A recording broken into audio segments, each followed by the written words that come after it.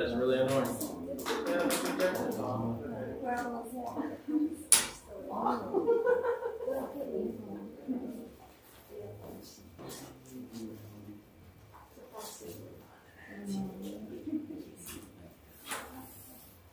Well, well, hopefully.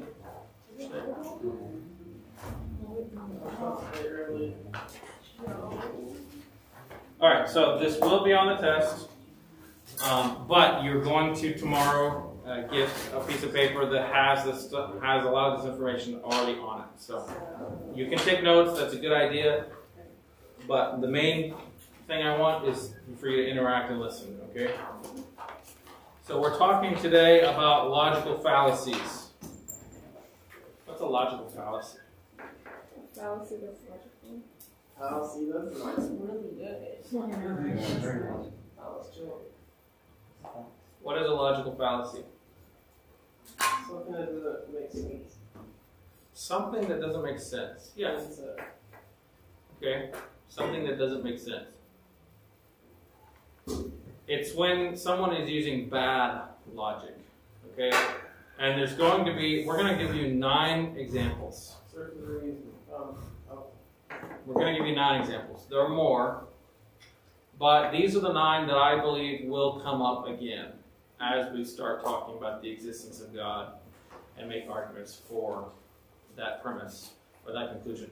So that means these are the nine I've chosen, okay? And these are very important. You're going to see them throughout uh, your life. So this is not only good for you know our subject matter. This is just good life lessons. Just like logic is a good thing to understand, right?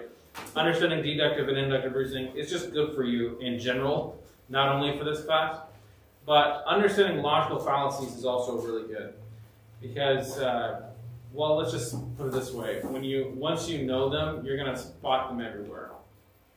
And I don't want you to use your new superpower for evil. Okay. I don't want you calling out teachers in rude ways or anything like that. We all make these mistakes, but it's good to limit them and it's good to do our best to purge them from the way we reason. Okay? We've already talked about two of these in the class so far. You guys remember what they were? spell it. Straw man was one of them. Road The other one was runner. I can't hear you, sorry. Road runner. Roadrunner. No, that's a method, That's, a uh, tactic that we can use. Okay, the other one was called the false dichotomy. Okay, so that's the first one we're going to talk about. We already went over it. I'm not going to spend too much time on it. You guys remember what this is? What is it?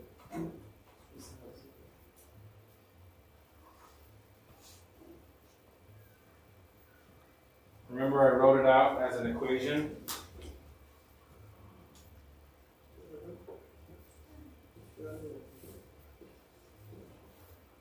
You guys remember that at all? This is a play on the equation, the law of non-contradiction. So here's the law of non-contradiction.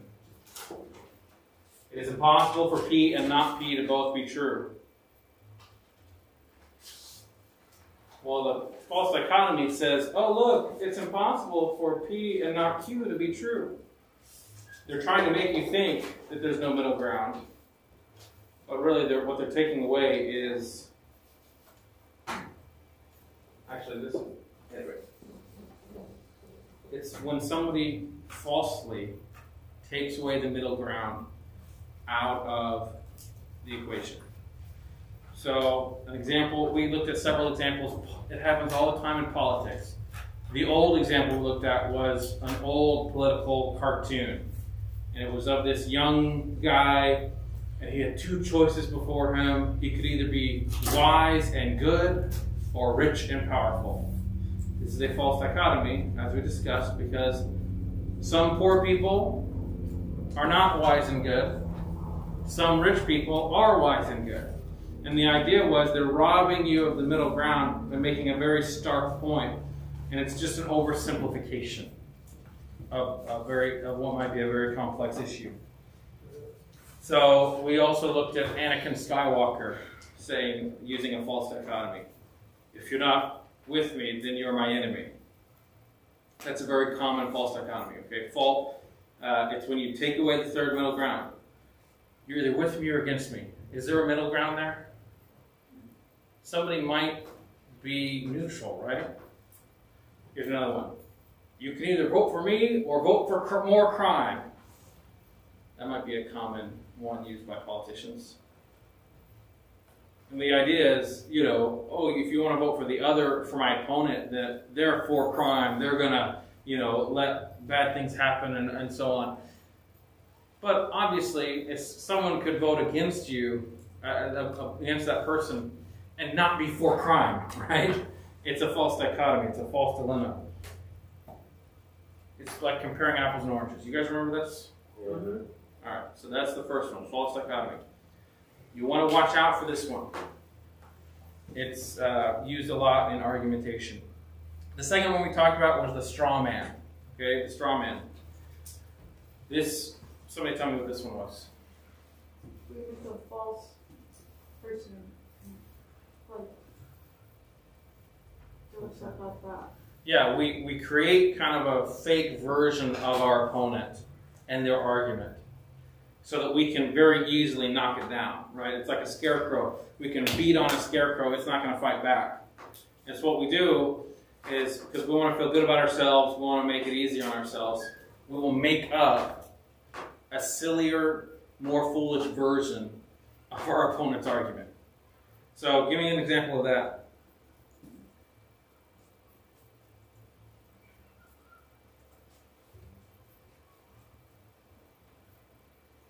Here's one. A wife says, I'd rather have a dog than a cat. Husband re- responds, Why do you hate cats? Did she say she hates cats? No, she just would rather have a dog than a cat. So this is a straw man creating this false version. All right, here's another one. And this one won't get any controversy.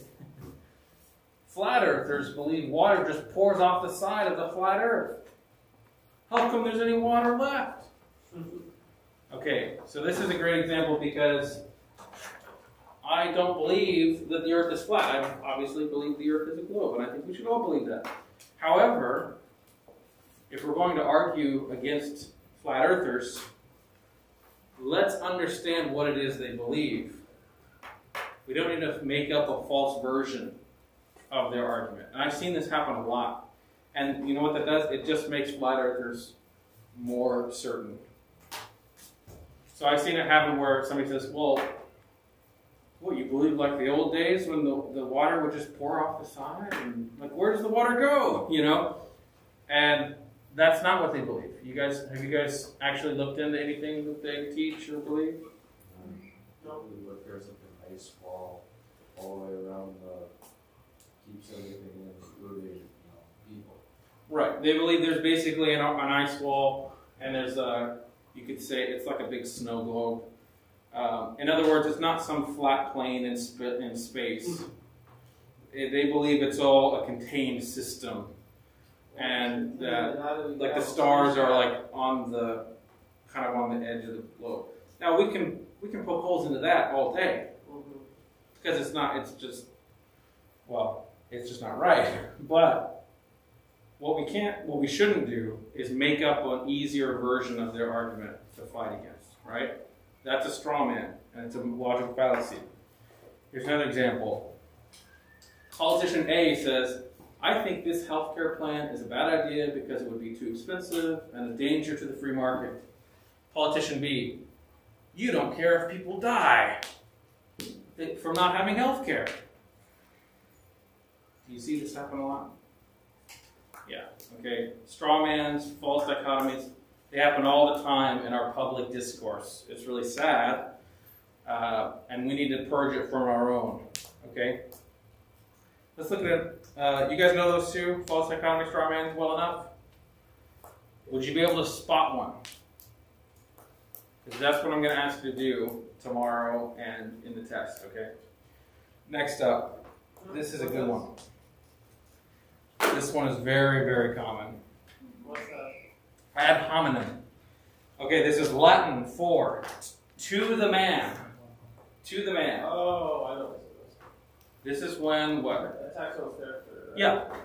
This is when you attack the person instead of their argument. You attack their character. You attack their education. You attack their intelligence, whatever it is. You would rather attack the person than actually deal with what they're saying. Okay, this is an ad hominem attack. Again, happens all the time in politics. But this is the idea of, oh, Charles is a terrible person, therefore anything Charles says must be wrong. And so that way you don't have to actually listen to what they're saying. You can just ignore what they're saying because they're a terrible person. This is ad hominem. It's not a good tactic, not in the slightest. And it usually doesn't work. But we're going to actually look at an example online. And I will say, I don't think. Uh, I don't think it usually happens on a debate stage between um, between atheists and believers, but it does happen. Okay, and uh, well, I'm just going to show you an example. Uh, in the midst of a debate. Yes. Can I use the restroom? No. All right. Uh, yes, go, but be quick. Be quick. You guys gotta go to the bathroom another time. All right. It's not there. Okay.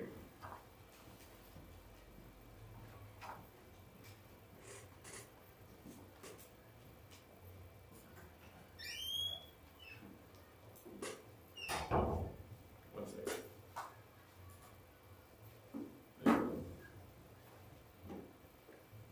So, what is this video about?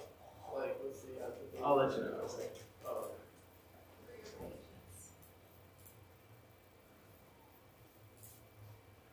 All right.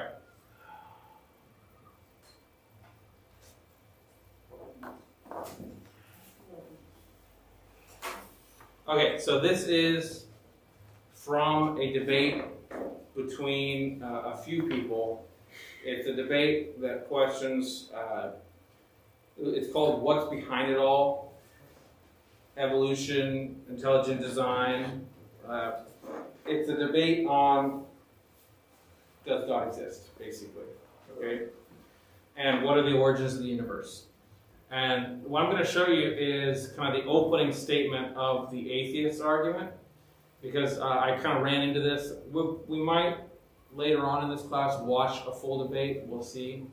But I kind of ran into this, and what he does is he opens his his uh, argument, the atheist does, with a full ad hominem attack and he also does a straw man, okay? So I'm going to see if you can spot them. Can't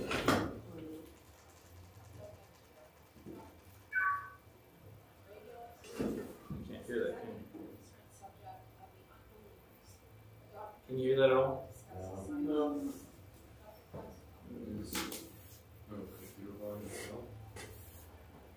It might even be louder on. No, it won't be. It's the video itself. It's really quiet.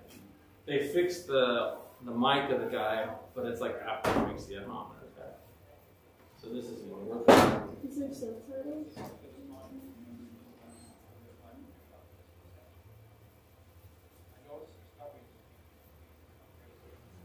Alright, give me a second.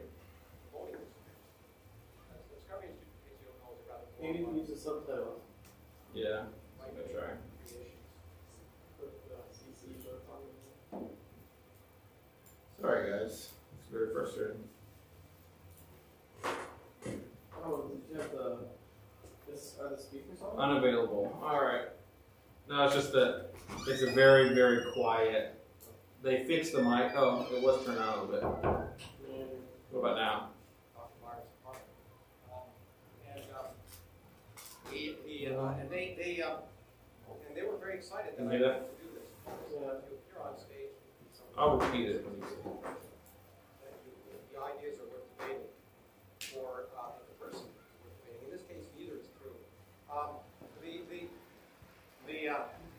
that's what you need to hear. I just want to make that quite clear because I, the, Steve Hugo, wherever he is, there you are. It's oh, very, very nice. He asked me to do this a long time ago, and now I think I covered afterwards. All right, listen to what he says again. I'll repeat it. It won't work.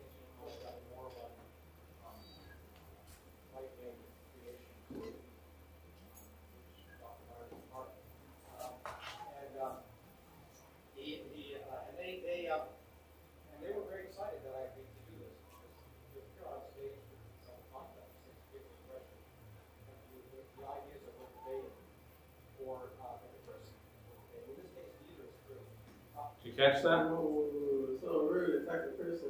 Yeah. So did you did you hear it? Yeah. Somebody in the front did.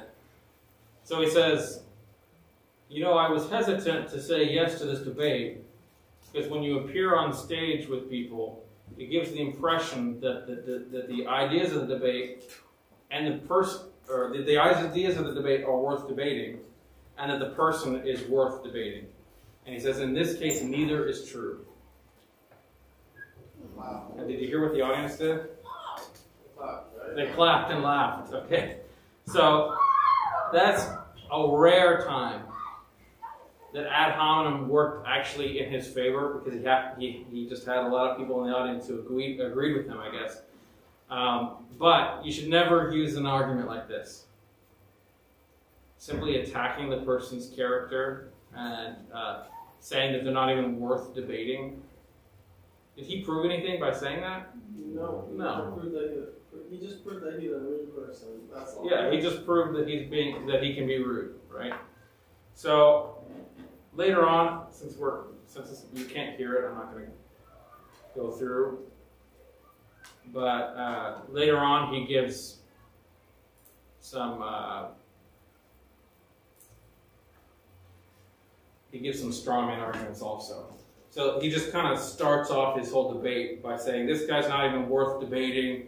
He's with this organization, and they just believe science is evil. And he just says that a few times over and over again. And of course, I've, I'm reading one of the books by one of the guys he uh, is debating. The guy he says is unworthy to debate. It's a science book. I mean, he's a, he's got a PhD uh, in in like the philosophy of science. He's he's a believer in science and he likes science. To, to suggest that he thinks science is evil, that's a straw man, right? And uh, it's not actually contending with the argument of the other person. It's just making up some false version, right? So ad hominem and straw man, they usually go together. Ad hominem is when you attack the person, not the idea. Okay? And again, it's usually a bad strategy. Not only is it just morally bad, it usually doesn't work. Usually the audience isn't swayed. But in this case, there was enough there were enough people in the audience who just wanted to hear that kind of thing, I guess. That doesn't mean that he convinced anyone who thought who was in the middle, right? Okay, so ad hominem attacks. Any questions on that one? No. Next is called a non sequitur. This is the last of the Latin phrases, I promise. This is Latin for it does not follow. It does not follow. Okay? This is when a statement, remark, or conclusion does not follow naturally from the premises. Okay? Remember how when we're writing arguments, it's when a uh, when a conclusion does not follow naturally from the premises. So remember, we had our premises uh, when we're talking about uh, deductive arguments, right? So a non sequitur is when the premises don't even add up to anything, right? There is no conclusion from the premises. That's what we call a non sequitur. So let me give you an example. Jane is a terrific athlete.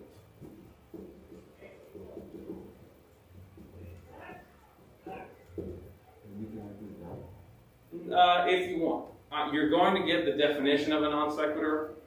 And I'm going to expect you to be able to understand what it is, but we're going to have a couple of days of practicing it. Okay? It's a good idea to write it down, but you don't need to. Uh, Jane is a terrific athlete. Jane is from Greece. Therefore,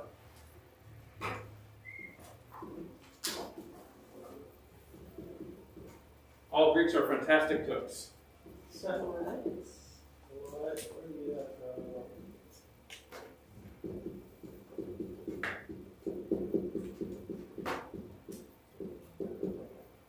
This is a non sequitur. Okay? This means that they can't even formulate a proper argument. It doesn't even make sense, right? The conclusion that all Greeks are fantastic cooks has nothing to do with the premises, right?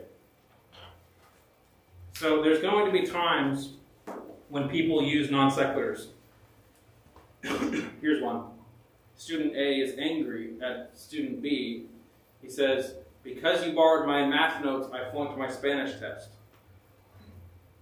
Doesn't make sense, right? That's a non sequitur.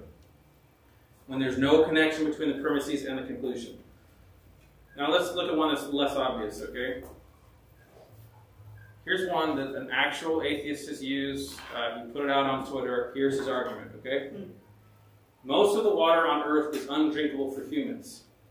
Therefore, the earth was not designed by an intelligent mind for humans. Therefore, God does not exist. What? That's so dumb. Why is that a non sequitur? That's not called dumb. That's ad hominem. Okay? That's not not fun. No. The argument is dumb. Yeah. Yeah. yeah Well, yeah. let's use other words than dumb. Stupid. Let's say that is a that is an, Ill, an illogical. In fact, the proper word is that is a non sequitur argument. Okay? Why is that a non sequitur? It's comparing drinkable water to like great to earth creation. Kind that. Oh, like you know what I It's mean? trying to draw a conclusion of how God doesn't exist. How the world, how the world was created. God, that, that, uh, The- seventy percent of the earth's water is under. Okay, so in other words, the conclusion does not follow necessarily from the premises, right? The premises, like, okay, so let me give, let me just ask a question here. Okay, so most of the water on Earth is undrinkable for humans. That automatically means it wasn't designed for human life. How about the ocean has other purposes? Right? The ocean has a lot of purpose in our world. We'll probably talk about that when we get into one of the later units, talk about the design of the earth. So, to suggest that just because that water isn't drinkable for us does not mean that the earth wasn't designed with a purpose. The sea has a purpose, it's just not for drinking. Okay? That doesn't mean it's not been designed well or designed at all. So, that is a non sequitur. The conclusion does not come, follow the premises. Just because we can't drink water doesn't mean it's not there for a purpose. All right. Any questions on this one? Non sequitur. All right. Next up. Yeah. Bandwagon. When have you heard this phrase before? Have you heard this phrase? Uh, this word, bandwagon? Yeah, we've gone over it classic before. Oh, you have? A lot of us, most of us, I think all of us actually. So, what is a bandwagon fan? You kind of like just get to go along with everyone else because they're doing it. Kind of. Yeah. So, okay, I'm a Bengals fan. Cincinnati Bengals. They are in the Super Bowl this year. They're going against the Rams. I know, LA. So maybe there's some. You guys don't care. Okay, good. So I became a Bengals fan a couple years ago because of the quarterback. He was at the college that I love. So anyway, long story short, I've been a fan for a couple years.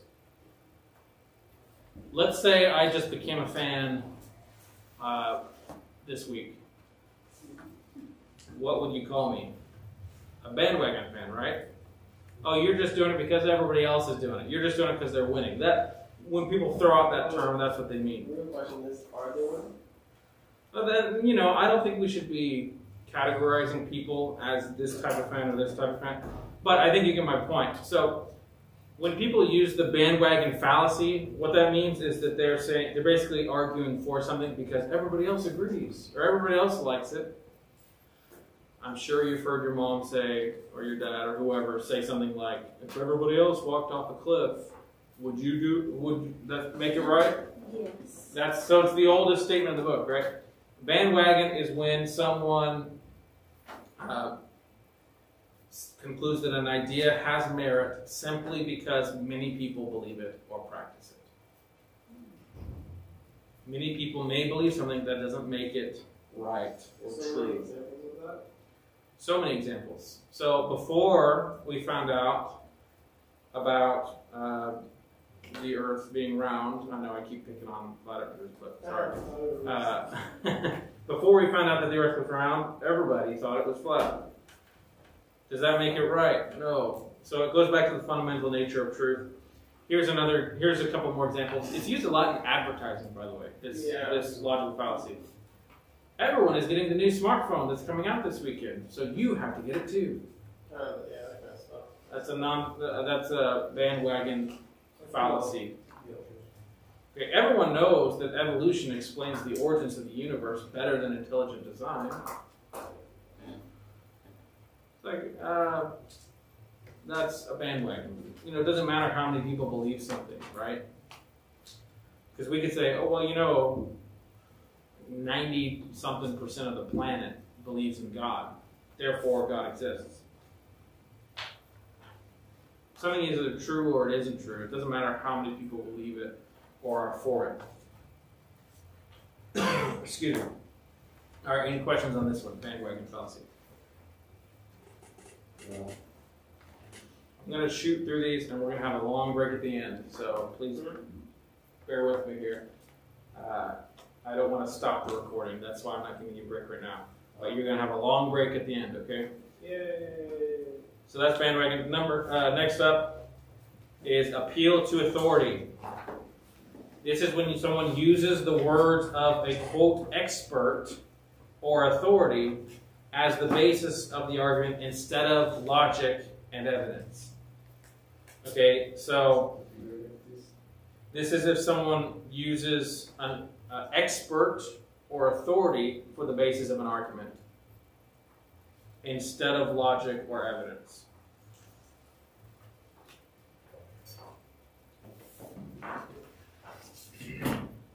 So here's an example. My sixth grade teacher told me that blood is blue and it turns red when it hits the air. Therefore, blood must be blue. What's someone doing in that in that moment? They're appealing to authority. This is a fallacy because while uh, while it might be important to go to authorities for evidence or for conclusions based on evidence, at the end of the day, what matters is the evidence itself, or the conclusion, or the logic itself, right? So we can't just appeal to authority without looking at what they actually say. Notice how a lot of these fallacies are taking attention away from the argument and putting it on the people, right? Whether it be an ad hominem where you're attacking the person, uh, you're attacking your opponent, or this one, an appeal to authority, where you're saying, well, this person believes it, or this expert says so. Here's another example. Albert Einstein didn't believe in Bigfoot. Therefore, Bigfoot must not be real. It's like, is that Albert Einstein's field of expertise? No.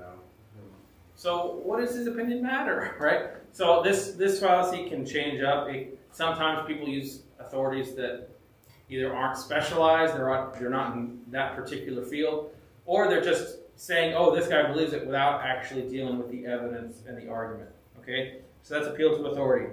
Next up, oh, here's an example of one. Um, this is an example of advertisers doing appealing to authority in the olden days. Can you guys see what that says? More doctors smoke camels than any other cigarette. That's a real advertising, okay? Back in the day, they thought the cigarettes were healthy. they thought cigarettes were healthy. And they would, and the companies, the cigarette companies, they would, they would pump out saying, this is the one that the doctors recommend, and this one, and this one. And that, that's appealing to authority, and obviously it wasn't correct, okay? All right, this one's called faulty analogy. This is assuming that because two things are alike in one or more aspects, they are necessarily alike in some other respect.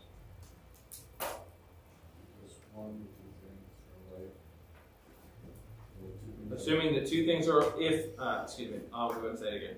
Assuming that because two things are alike in one or more aspects, they are necessarily alike in some other respect.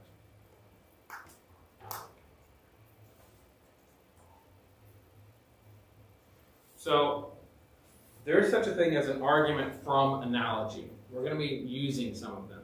In other words, to communicate your argument better, you give a metaphor. Okay, one of the big ones that we will talk about in great detail. Uh, you know what? I'm going to hold back on that one because I want us to have a full discussion on it at the time. At that time, um, let me just give you some examples of a good analogy. Okay, let's a good analogy, a good argument from analogy. Can anybody think of one? No, a good a good analogy first. Oh, okay.